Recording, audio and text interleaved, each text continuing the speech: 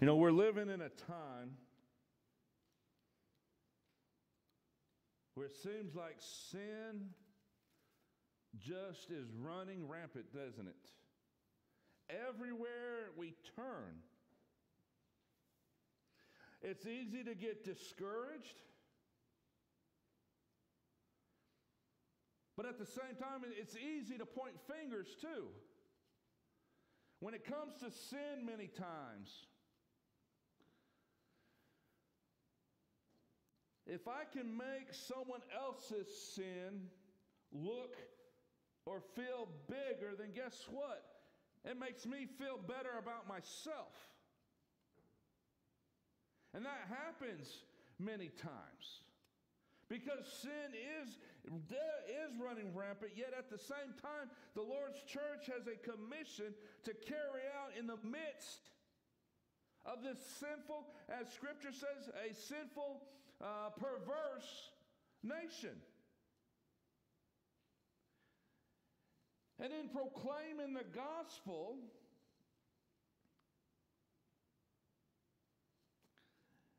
it's difficult when you see these things going around, when it seems like Satan is winning the day through unrighteousness, there are many unrighteous things going on in this world as we speak. Amen? And when we can shake our head and have this conversation this week, even 15 years ago, which that was the time frame that was uh, in this conversation I had that we fit it. But I mean, for me, it, it's been a lot longer, but for this conversation, 15 years and how things have changed, how, how society seems to okay uh, different things. Even 15 years ago, you would not even think about. And when we look at all that, we, we have this commission, we have this command to go into the world. We see this sin. There, there's a phrase that, that seems to be used. It almost seems like a rallying cry that the church may use. But is it, is it in Scripture? It's this we love the sinner and hate the sin. We love the sin. And that boy, that sounds biblical, doesn't it? I mean, that really, that sounds. That sounds like a, a, phrase that could fit right in the middle of the Sermon on the Mount. That sounds like something that Jesus would have said in Matthew chapter 5, 6, and 7. And we use that verse or we use that phrase a lot. Love the sinner, hate the sin. But here's what happens if you really think about that it's very easy to get judgmental. Loving the sinner, hating the sin.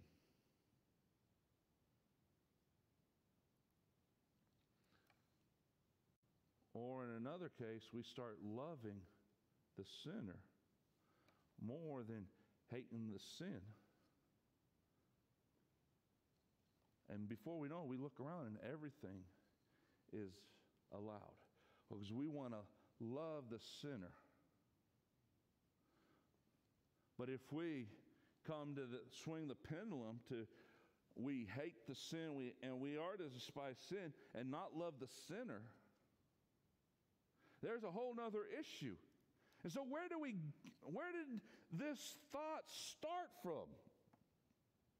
This saying, well, in 5th century, Augustine wrote this with love for mankind and hatred for sin. Augustine said that. Gandhi, who practiced Hinduism, stated, hate the sin and not the sinner. Say it a little bit different, but really meaning the same thing. and, and we can grab a hold of, and many others probably have said that. We may have used, and it's not that we were wrong using a, a phrase like that. The fact is, as we've been looking, that's not in the Bible. If it's not in the Bible, what is? Well, we, we read about hating evil. We see in Psalm chapter 97, verse 10 Ye that love the Lord hate evil. He preserves the soul of his saints, he li- delivers them out of the hand of the wicked. So, we're not talking about taken away from hating or disliking evil. Evil is evil, sin is sin. But what does the Bible say? What do we want to look at this morning? And it's this. Without having even moved out of the, the Sermon on the Mount, this, this magnificent, great, probably the greatest message ever preached. Jesus setting everybody down there. I mean, you couldn't even ask for a better backdrop with on the mount with, with the Sea of Galilee. I mean, that, that would probably be the place to be able to, to preach a message from God's Word. But here's Jesus.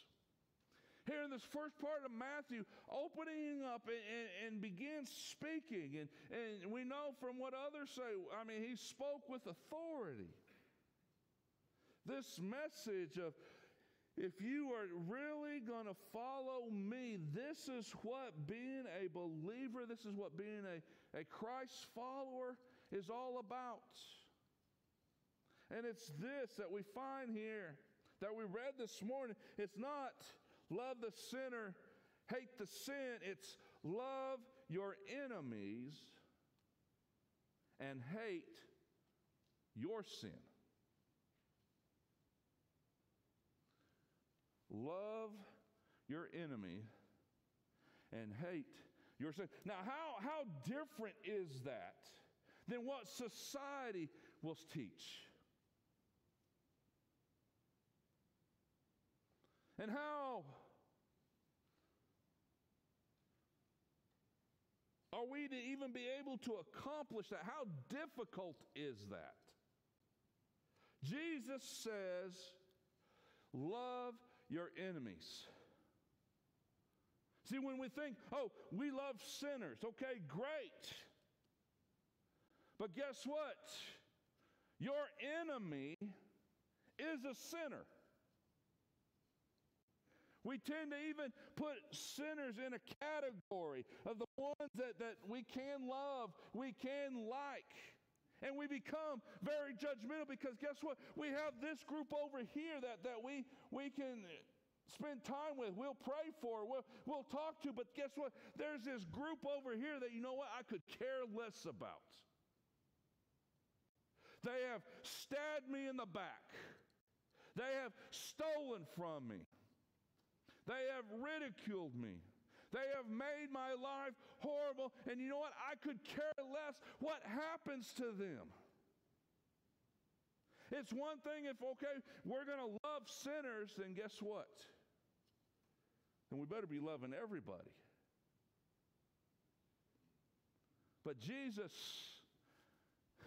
He knows the heart of man.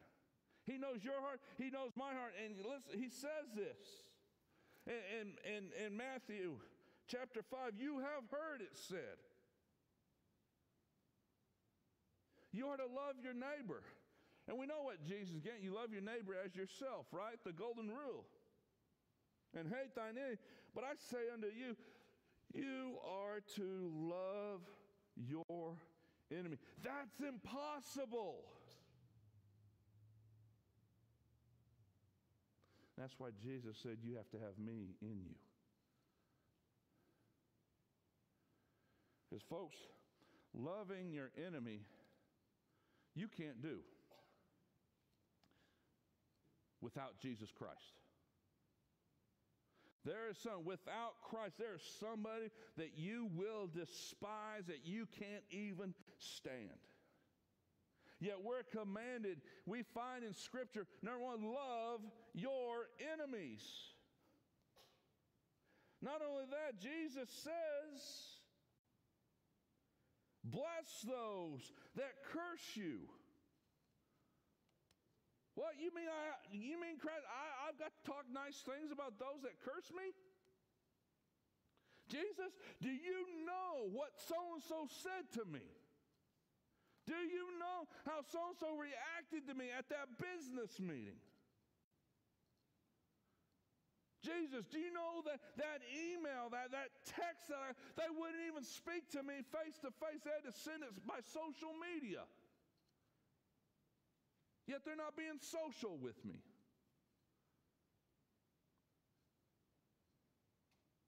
He says, Do good to those that hate you, pray for those that curse you. Jesus, do you understand? You know what Jesus says? Yes, I do. Yes, I do. Because what did Jesus say? As he is there, he is wrongfully arrested, he is beaten, he is tortured, he is being nailed. Those nails being driven through his hands and through his feet. What is Jesus saying on the cross? Father, forgive them, for they know not what they do. Father, forgive them. And then when we read in Scripture, we know that Jesus is in the middle and there's the criminals on the cross. And at the beginning of all this, both of them are railing against Christ. And at the end, what does Jesus say to one of them? Sorry, you're cursing me before I, I could care less. What does he say before he says it's finished? Today, you will be with me in paradise. Folks, Jesus knows what it's like to love your enemy. He knows that we can't do it ourselves, but with Him in us. And that's what the Sermon on the Mount is all about. Everything from, from Matthew chapter 5, 6, and 7. Without Christ in us, it's impossible to live this way. But Jesus says you are to, to love your enemy. In Proverbs chapter 24 and verse 17, do not rejoice when your, your enemy fails, and let not your heart be glad when he stumbles. Jesus, or, or Paul writes in Romans chapter 12, vengeance is mine, I will repay, says the Lord. If your enemy is hungry, do what? Feed him. If, if he's thirsty, give him something to drink.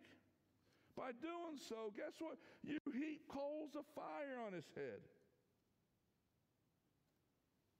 And Paul ends it with don't overcome evil, or don't be overcome by evil, but overcome evil with what? With good.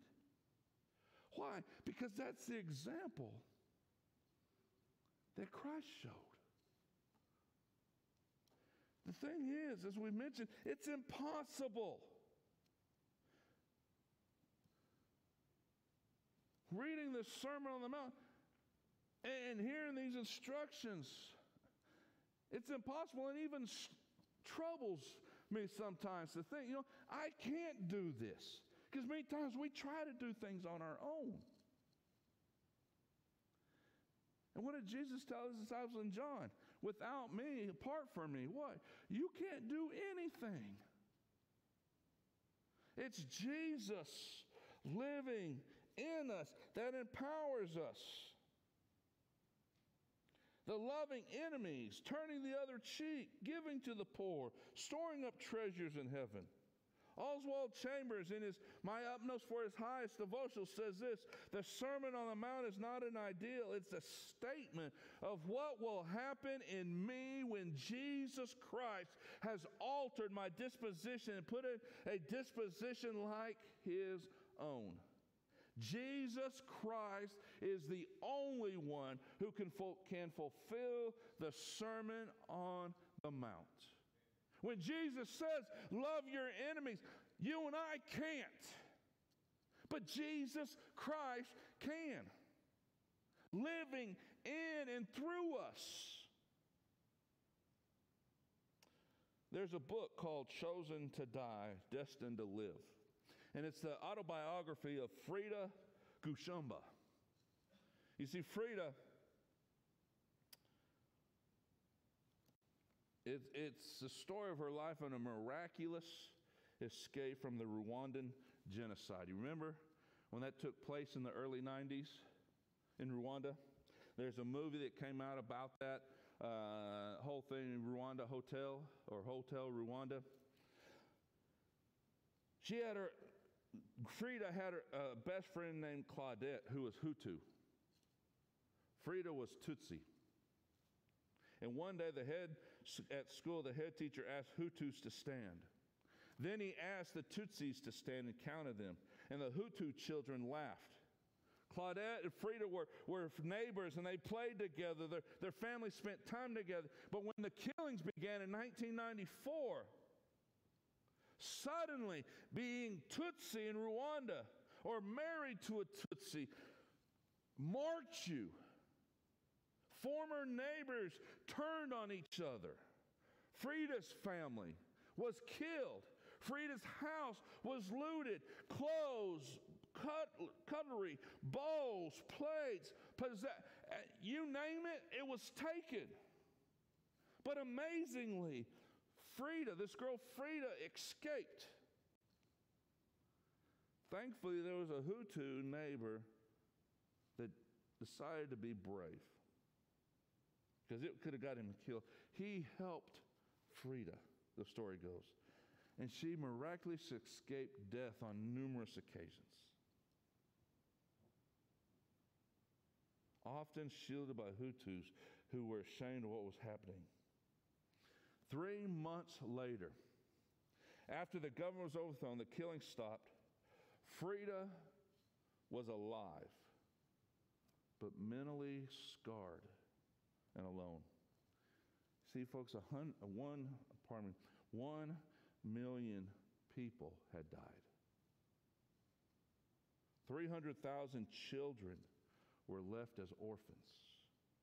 85,000 children were now the heads of their families.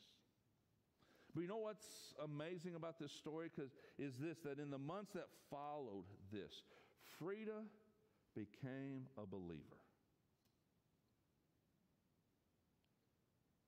Very painfully, very slowly, she began to find some measure of healing, not from outside stuff, but, but from God. And one day she realized this that she needed and wanted to forgive the man who had murdered her father. She visited him in prison, but when she first saw him, guess what? She said she fled. She took off. She ran. I can't do this. This guy murdered my, my father. But she writes that weeks later she returned and was able to talk with and amazingly sit down with this man and tell him that she forgave him. And that she was able to share with him that was because her faith in Jesus helped her find a new peace. And as she forgave those, that peace increased immeasurably. You see, folks, sometimes the, well, let's just be honest, most of the time, the teachings of Jesus are hard. You know why? Because many times we read them like, okay, I'm going to do this. And listen, you can't. You can't love your enemies. But Jesus can and does, and through us, enables us, empowers us, gives us the grace, gives us the peace to do what Jesus does.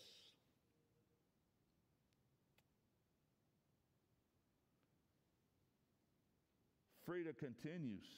She went to visit an old neighbor called Elena.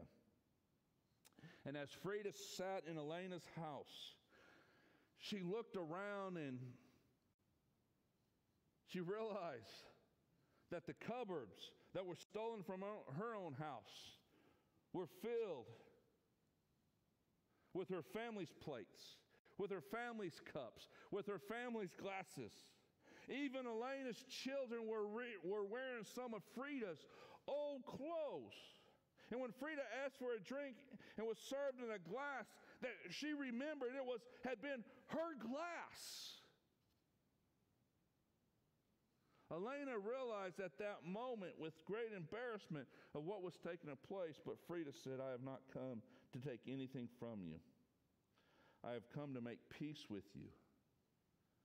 And Frida writes, she sat there with that cup, drinking water, and prayed for Elena and her family. My neighbor herself shook her head opened her mouth as to speak, but she could not find any words. And afterwards, I left her home with these words. I was able to say, Peace be with you.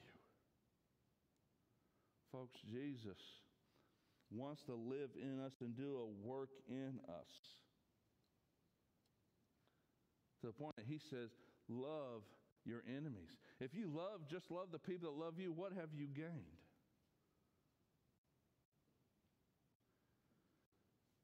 And listen, when we look at that, love your enemies. Oh, I'm going to love the sinner. Guess what? If you're not for Jesus, you're what? You're against Jesus.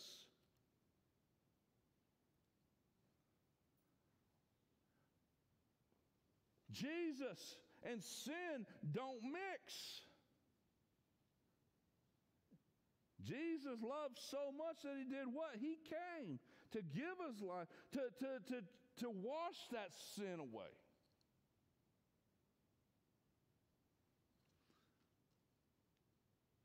We love our enemies. We are also loving. Because guess what? As, as we're trying to live, we are living for Christ.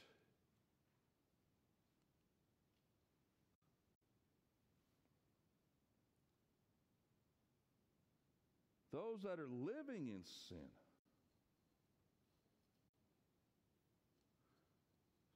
stand opposed to Christ. Sin is an enemy of Christ.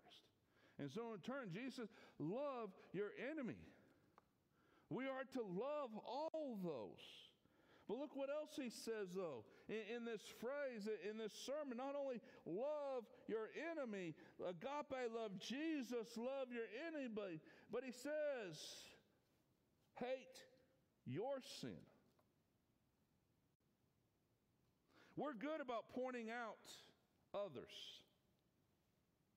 That's exactly what the Pharisees did.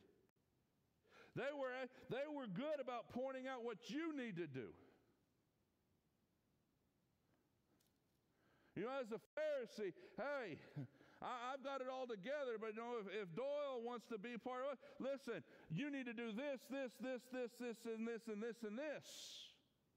And, and listen, if Doyle doesn't fulfill all these, guess what? Tough luck. See ya.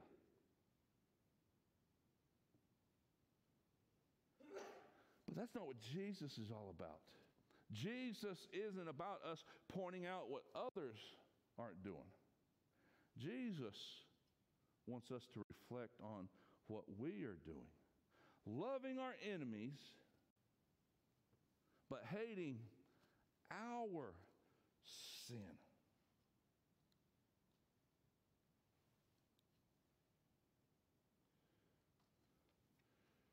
The Italian poet Dante Alighieri writes about a time that he was at a church service in, in meditation and he failed to kneel at the appropriate moment. And his enemies hurried to the bishop and, and demanded that Dante be punished for his sacrilege. And Dante defended himself by this, saying, if those who accuse me had had their eyes and minds on Christ as I do, they would have failed to notice events around them, and they most certainly would not have noticed what I was doing. How true is that? If we worry about ourselves, how it doesn't take long till we lose sight of what everybody else is doing because guess what? Scott, looking at Scott and taking care of Scott, that's a full time job. You don't believe me? You just ask Becky. That's a full time job. And if I'm honest with myself, I don't have time nor the energy to look at other people and point out what they're doing. And listen, when I stand before Christ, and what I'm going to have to answer for is me. And Jesus says, Love your enemy, but I want you to hate your sin. I like what he uses, Jesus uses here.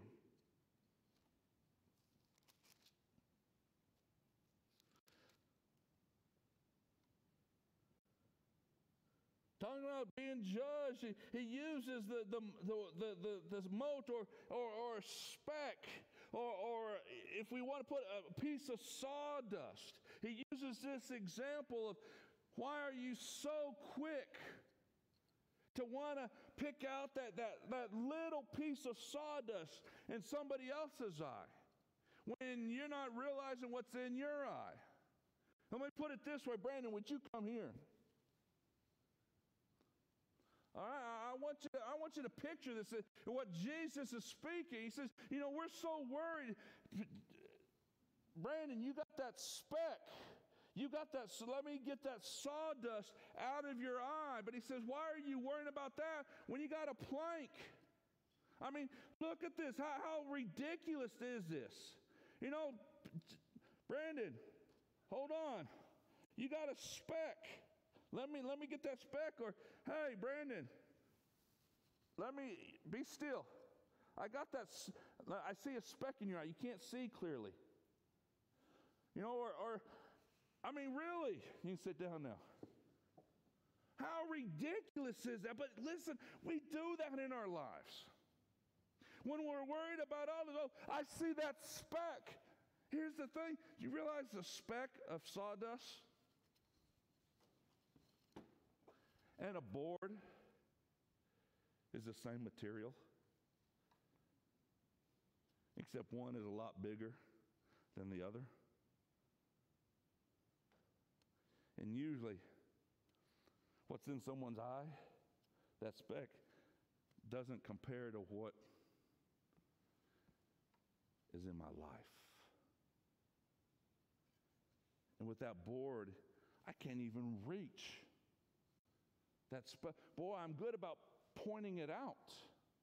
I'm either knocking them in the head or it's keeping what's in my eyes, keeping us from being in close proximity. And if we're not in close proximity, guess what? It's hard to show love to my enemies. It's hard to show love to anybody. And so, what does Jesus say? Take that plank out of your eyes so that you can see clearly. Because listen, if we don't, we're just like the Pharisees. And they were nothing more than hypocrites, walking around with planks in their eyes loving themselves. But that is not the character of Christ. Listen, folks, as we live, we are to, to continuously being molded and made into what? The image of Jesus. We are to become like him.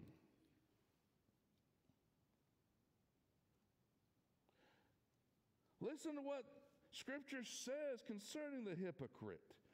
Isaiah, right, in Isaiah 6 and verse 9, after he was told to go, God says to him, Go and tell this people, Hear ye indeed, but you understand not. You see, but you perceive not.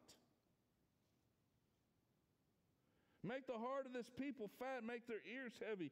Shut their eyes, lest they see with their eyes and hear with their ears and understand with their heart and convert and be healed. James writes in James chapter 1 and verse 23 If anyone be a hearer of the word and not a doer, he's like a man beholding his, his natural face in glass. For he beholdeth himself, he sees him. He goes his way and straightway forgets what manner of man he was. How many times has that happened? We look in the mirror and, and, and we see ourselves, but then we walk away from that image and we forget what we look like.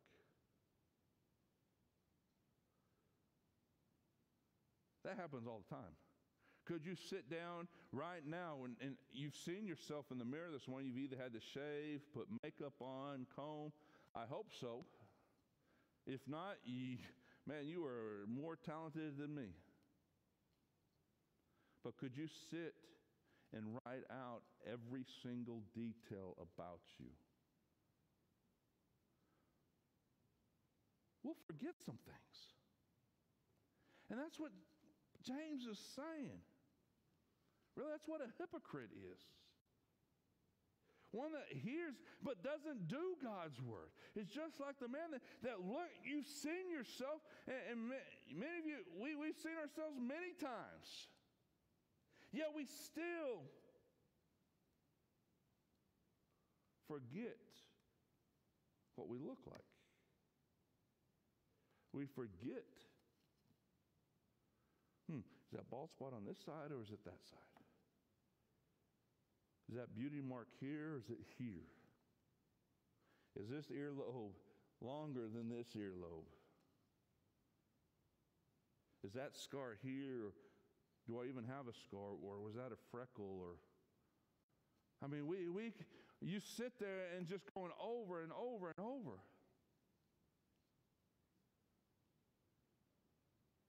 And when we don't deal with the things that are within us, we're just like that one that hears and doesn't understand, that sees and can't perceive, that, that hears the word of God and refuses to do any work. He says, Hate your sin. Take care, take a look in your life. That's why I've come. When we start pointing out, you know what, so and so is a whole lot worse than me. Listen, my friend, you are in a wrong place. Not because the preacher has said it, but because God's word declares it. He says, check yourself. That's a phrase that's used today. Just check yourself. Take. Because here's the deal when we look at stuff and we take the, the log, the plank out of our eye, it's amazing how clearly we see. But you know what? The clearness to see isn't that, oh, I've taken the log out now, boy, I can see Brother Don's sins a whole lot better. You know what happens is I see what kind of life my life is.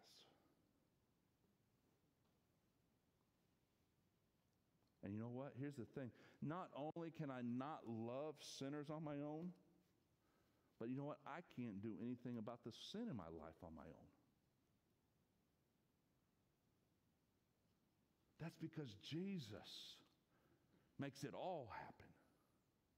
That's why a relationship with Him is, is paramount. That is the only way.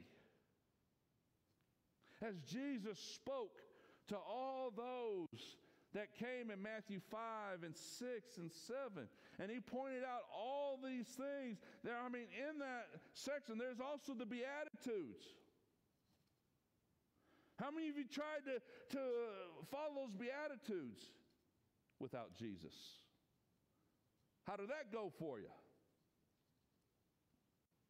Well, to be honest, we didn't even get past the first one. That's why Jesus says, You need me. When you take the plank out, you can see clearly. When you take the plank out, guess what? The thing you're going to see is that your enemies need Jesus. You take the plank out, you're going to see that Christ needs to do work on my life. And as Christ is doing work on my life, guess what? Out of love, I can tell people what Christ can do in their life. Folks, that's all what it's about. Loving the sinner and hating the sin isn't in the Bible. Even though that sounds good, and even though that could be a decent principle to, to live by, what the Bible does say is we love our enemies and hate my sin. Let's pray. Our most gracious Heavenly Father, Lord, we come and we thank you. Lord, we thank you for the truth of your word. Lord, you your word is filled with things you ask us to do that we can't do on our own. And you did that for a purpose so that we would rely on you and place our faith in you because you can fulfill those things. Lord, there are people in my I just don't like. But with Christ through me, I can love them because I want to follow your example. I want to be holy as you are holy. And Lord, as I look in my life, as I take that, as Jesus said, that plank out of my eye, Lord, I see what sin does, I thank you that Jesus has forgiven. I thank you for the redemption that is made possible from his death on the cross. I thank you that that salvation can never be lost.